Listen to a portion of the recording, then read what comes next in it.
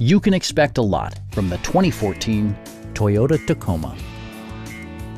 This two-door, three-passenger truck has not yet reached the 50,000 mile mark. Under the hood, you'll find a four-cylinder engine with more than 150 horsepower.